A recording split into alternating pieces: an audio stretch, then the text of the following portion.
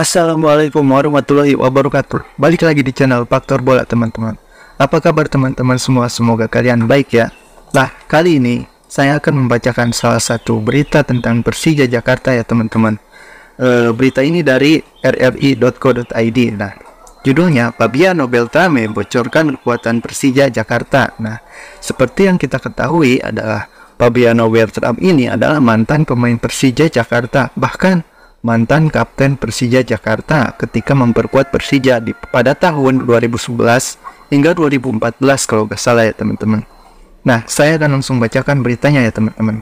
PSBS pihak punya banyak cara untuk mengetahui kekuatan lawan Persija Jakarta di pekan keempat BRI Liga 1 2024 per 20. Per nah, Skuad berjuluk Badai Pasifik ini memiliki sejumlah pemain mantan Persija seperti Eddie Boy, Robertino Pugiera, Fabiano Beltram, dan Jaime Sapier yang kita ketahui uh, membawa Persija Jakarta juara di Liga 1 pada 2018 per 2019 ya teman-teman.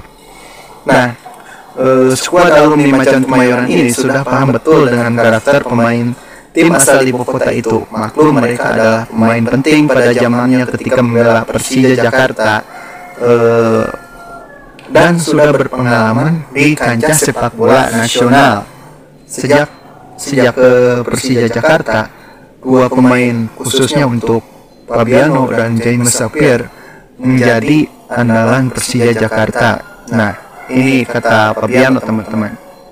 Saya mengenal karakter Persija karena saya lama bergabung dengan mereka, kata Fabiano. Nah, Fabiano ini uh, dia masuk Persija itu kalau nggak salah pada 2011 hingga 2014 dan didaulat sebagai kapten Persija ya teman-teman.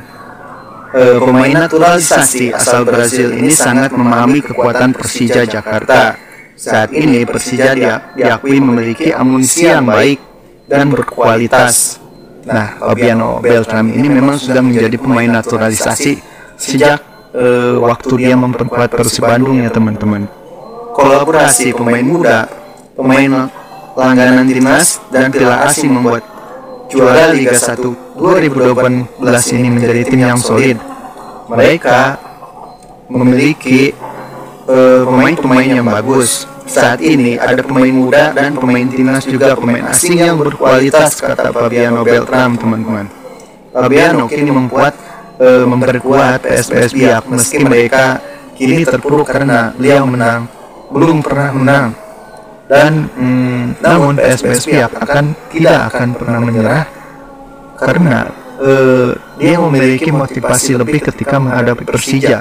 Karena pihak memang hingga saat ini pekan ketiga dan lanjut ke pekan keempat, jika mereka gagal, artinya empat kali mereka akan mengalami kekalahan. Nah, hmm, semoga uh, pertandingan nanti berjalan dengan baik ya teman-teman. Persija Jakarta berambisi mempertahankan uh, papan atas klasemen sementara sementara PSPS Siap mengincar kemenangan pertama mereka. Jadi kemungkinan laga yang akan berjalan besok ini akan sangat sengit ya teman-teman. Jadi jangan lupa nonton laga ini ya teman-teman. Kita doakan semoga Persija Jakarta bisa meraih hasil yang bagus. Walaupun harus bermain di Stadion Iwayan di bagiannya dari tanpa uh, pendukung tim tamu. Jadi di sini Persija menjadi tim tamu ya teman-teman. Karena PSBS pihak berstatus sebagai tuan rumah, namun memakai stadion Iwayam Dita Kiana Bari. Nah, video kali ini cukup sampai di sini ya teman-teman. Terima kasih yang sudah menonton. Wassalamualaikum warahmatullahi wabarakatuh.